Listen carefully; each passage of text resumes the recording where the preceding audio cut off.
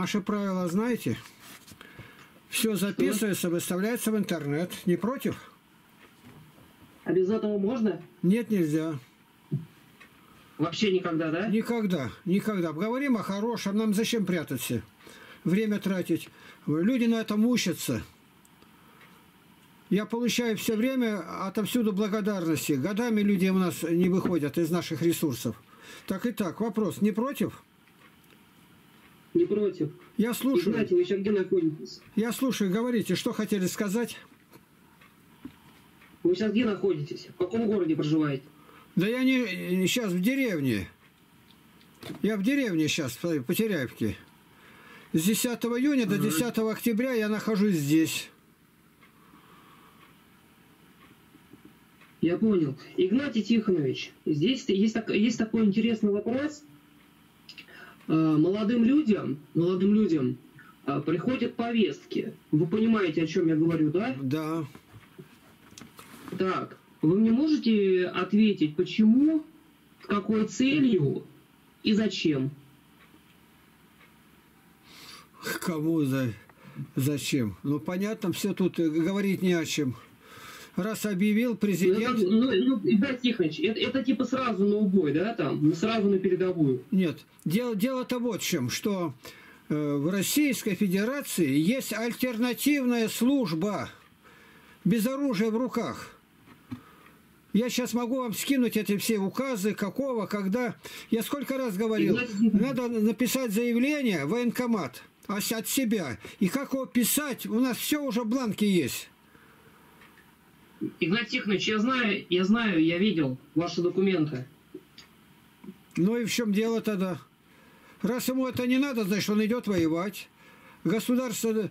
э, Смотрите, Игнатий Тихонович, я не хочу, чтобы с военкомата, когда кто-то читал те документы, которые вы предлагаете, я не хочу, чтобы кто-то из них знал то, что я верующий. Я не хочу. Ну, я значит, хочу, чтобы это, они, это прочитав ва- это, так, Владислав, это ваш выбор. А у нас, ребята, отнесли. Их не трогают никого. И в армии даже не берут. А обычно берут их какие-то ухаживают за больными, срок подольше. Ну, понятно. Но зато они ни снаряда не подносят, ни корректировщики огня, ничего этого нету. Они просто служат, возвращаются домой и все. По соображениям совести. Посмотри фильм такой, видел, нет? Нет, я про него слышал. Запиши, запи, запиши, запиши. Адвентист седьмого дня, как он не принял присягу и работал врачом. В Японии, когда Америка воевала. Я понял, о чем вам. Ладно, Игнатий Тихонович, если я им не отнес документы, ладно, суть не в этом. Какова вероятность из 100% того, что, и, что меня загремят? Ну, если вы служили в армии, это И Да, я, я уже срочную службу отслужил, я в запасе. Ну, в запасе, если подходит, все нормально, не больной, не психический какой, в любой день тебя могут призывать. Никаких гарантий нет, ни одного процента. Они сказали, они не берут того, кто учится в учебных заведениях, учится и не заочно, а прямо впрямую учатся. И э, там возраст, говорят они, какой. И молодняк, которых берут в армию, которые не были, их тоже не направляют куда. А берут тех, которые в запасе. Игнатий Тихонович, а туда срочники попадают? Ну, те, кто проходит срочную службу. Ну, Я они, хочу- они говорят, как они говорят по ним, что нет, нет, не трогают их срочную службу. Это только запасники. Потому что у нас уже здесь, во Владимирской области, начали по ночам ходят, разносят повестки. Ну, вы понимаете, то, что все как бы запахло жареным. Меня это Надо не касается, делать. Владислав, меня это не касается никак. Возраст, мне 83 года. Но если бы Я меня, понимаю, что- мне разрешили быть, чтобы там людям проповедовать, молиться, я бы пошел сегодня. Я просился уже. То есть нет никакого альтернативного документа, да, который можно отнести. Я потому что не хочу, чтобы кто-то в военкомате читал, потому что я верующий, мне эти слухи зачем? Ну, ну, как это? Господь говорит, что город на вершине горы не может укрыться. И тогда светится ваш перед людьми, да видят, как вы веруете. Веру скрывать не надо. Скрытая вера – это зарытый талант. И Бог спросит за это. Я от камеры был, захожу только в камеру. Мир дому всему. Зашевелился там, а их 75 человек. Там амбал вот такой вылазит. Кто такой? Какая статья? Я ему объясняю. 190 прямо. Что, мента грохнул? Я говорю, нет, это политическая статья.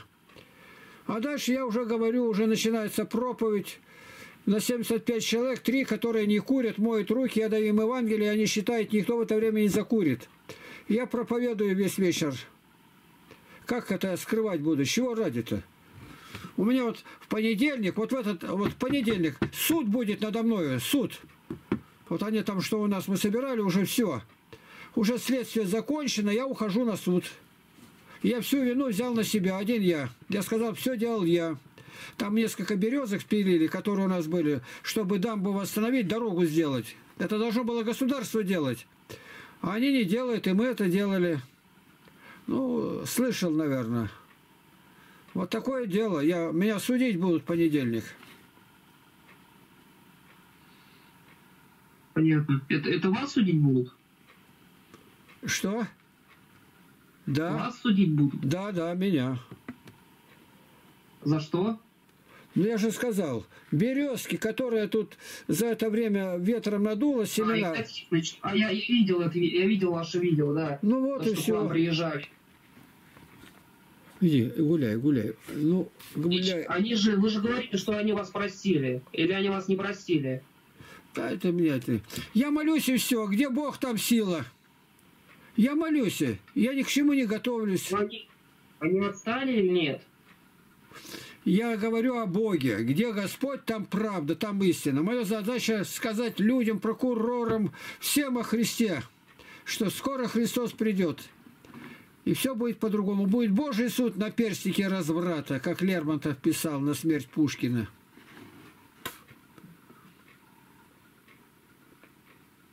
Все, я понял. В общем, другого варианта нет. Я так понял, мне сейчас как можно быстрее нужно сейчас брать документы, распечатывать и везти в военкомат. Иначе я... Я, вам сейчас скину, скину материалы, сейчас скину. Вы проверите себя. Но это заявление у них, я не тут не считал, но обычно говорят, за полгода до, как, до призова вы должны были документ сдать в военкомат.